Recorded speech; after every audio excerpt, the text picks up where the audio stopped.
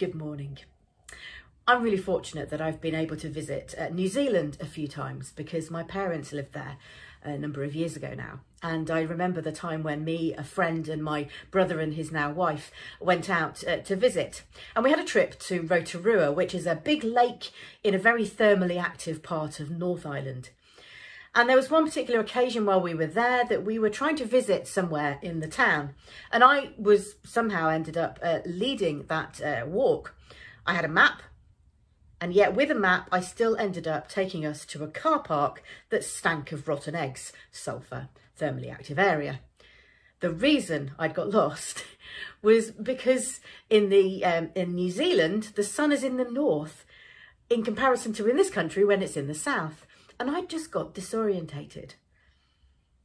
Easy to do, isn't it? We'd certainly veered off to the left and to the right. And our, our, proverb today is in the context of a few other verses that, that speak about similar things. It says this from verse 25. Let your eyes look straight ahead. Fix your gaze directly before you. Give careful thought to the paths of your feet and be steadfast in all your ways. Do not turn to the right or the left. Keep your foot from evil. There's a lot of uh, passages in the Bible that talk about walking a straight path or Jesus or, or got, got Jesus guiding us in a, in a straight path, that sort of thing.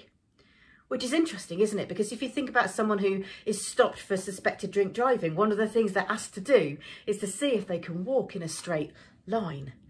If not, they're, they're sort of being veered off in different directions. Or maybe if you don't keep your eyes fixed on the right place, you sort of get distracted by different things around you. And of course, that is going to be the case sometimes, isn't it? We are going to be distracted or disorientated, all of those sort of things.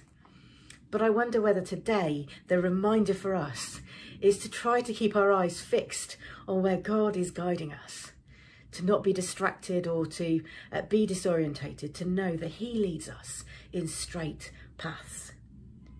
How might God do that with you today? Bless you.